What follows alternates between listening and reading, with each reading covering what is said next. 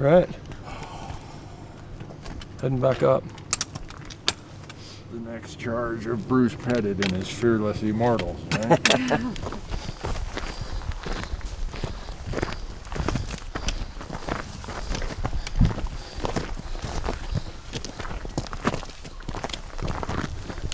I cannot believe the camera guy put a ho-ho or a Suzy Q or a Twinkie in the same category of the Sonic Jalapeno Popper. No, ho-hos taste delectable. If we were gonna stop at that, that if that gas station would have been open, I was gonna buy a box of those little mm, Suzy, what little Debbie's or whatever Yes. Q Something things or Oh, Hostess I was gonna go for the powdered donuts. Oh yeah, Oh, this is powdered I, that that's a weakness. Mm-hmm. Camera guys usually got to tell me, hey, you got powdered sugar on your upper lip. You might want to wipe that off before we do this interview. my wife lets me walk around with a dot of chocolate on the end of my nose because when I eat ice cream, I always lick the bowl. when you get far enough in there, you end up with. That's something there. Yeah. And she's disgusted by it, so now she doesn't tell me if I got a chocolate She dot just doesn't make eye contact. Yeah, well, she'll let me go into town, go to work Oh, with a chocolate dot on the end of my nose. There's a group of them up there. You guys ready to walk up here and kill that thing?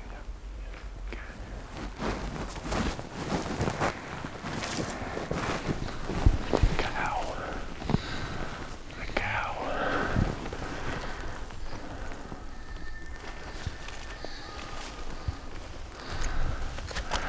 The fact that cow is in this meadow tells me they're not likely anyone else has been through here.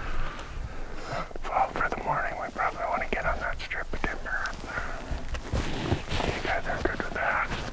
And as the sun comes up, roll over to the other side and glass that big head of that basin. Yeah, because there's, I mean, there's two or three balls big one in here. so-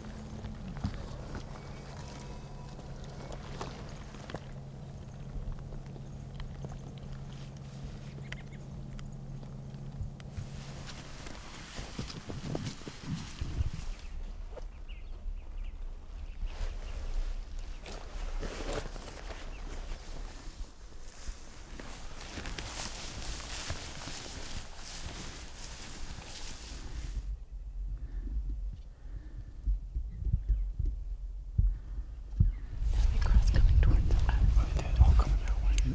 Look at my car at this shit.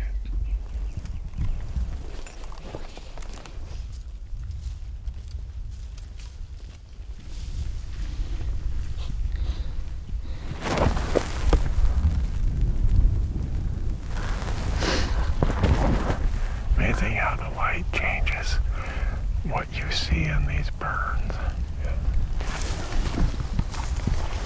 Here, from that picture right there. It 20 feet down? That's him right there. I'm gonna stay right here and cow call and see if at least I can keep him bugling. You guys try to move in on him.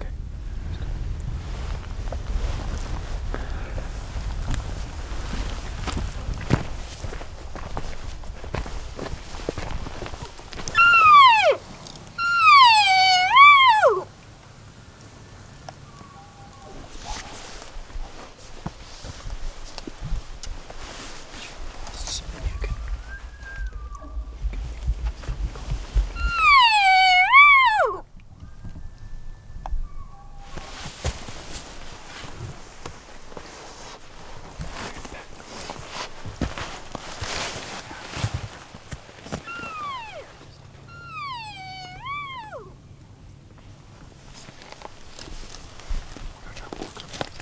Or just not think he's a mature bull.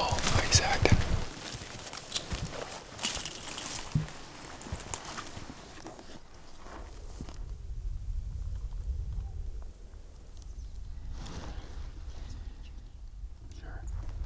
Well, folks, I'm not sure what got filmed while we just took naps. Is it we or is it me?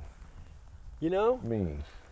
I heard you snoring before I took my I gotta, nap, I gotta dude. tell you, every every 20 minutes of sleeping on a on a mountaintop like this Uh-huh. with the sun shining and what 55 degrees, Yeah.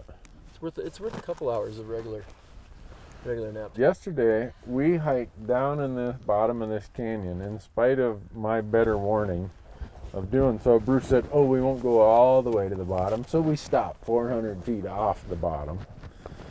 And we had to climb out, what, In the dark. in the dark through the deadfall, 1,200 feet. We got back to Ruidoso last night at what, 11? Uh, yeah. three hour Just hike out of 11. there at least and then drive in and the only thing open was the sonic and if you eat sonic at 11.30 at night It's you aren't going to get a good night's sleep i didn't And you I- didn't even have the the jalapeno popper. i know You know. i asked these folks if they heard a sonic boom last night because i was i doubled over man oh bruce you came up with the dumbest plan i think i've ever heard It's a brilliant plan, plan, Randy. It's brilliant. oh God. Seriously. You're excited for it though. You got kind of pumped up. You're a little pumped. I can feel it. That's because I see it has a terminal end. Two years ago, Bruce shot a bull down in the bottom. We spotted it from this side. It took us seven hours to c- go down and across and up the other side. And we got back to our room that night at like three, three thirty in the morning. four. Yeah. I got on my knees and said a prayer of thanks for being unharmed, other than my left knee that still is not the same, but I was still breathing. And I made a vow to the man above that if I ever consider, not go, but even consider going down in there, you can amputate both legs. And in the last half hour, the consummate salespeople to my right have convinced me that it's worth a double amputation because we're going to go down in there again tomorrow. It didn't have anything to do with the 22 bulls you saw down in there. Randy. There's a lot of bulls down there. I, and here's what you know why I think Bruce wants this plan because his beloved Broncos are playing tonight, and I, I I'm thinking he figures well if I sit out and rest and watch the Broncos, we can really give it hell tomorrow. Yeah. So I would say that we better get to the log cabin and have some breakfast. Yeah, we got a little hike out still. And then we better do that before better judgment comes because my liver isn't doing that well today. And my wife told me one of the main problems when my liver flares up is bad judgment. All right, well let's do. Let's get out of here. All right. You load them up. I'll be right behind you. Okay.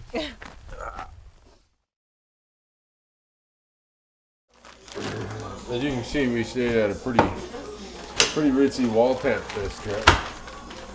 Rented a VRBO, vacation rental by owner. And uh, this right here is an antelope that we shot on the way over here from Arizona. And I told Bruce that we were saving these antelope backstraps for a special, special reason. And the special reason is he talked me in that tomorrow we were going into a place I vowed I would never go again. We went there two years ago and it almost killed me. So this is like the last supper. You know, the last supper for a hunter should include antelope backstrap. So I'm gonna go throw them on the grill here. They let me sleep for the last four hours, man. Whew. Rip Van Winkle didn't sleep as hard as I did. What? That thing lights easy. If you wonder why it is that I antelope hunt, here's your answer. The only bad part is the taste of this is not going to come through on video as well as it will in real life. I don't know. What's that? That's so much meat. That's an entire backstrap off one buck antelope.